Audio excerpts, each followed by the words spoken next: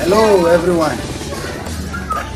We in Anot Africa Congress want to thank all the doctors in the world who are working hard and taking care of everyone. But remember, stay at home or dance with us.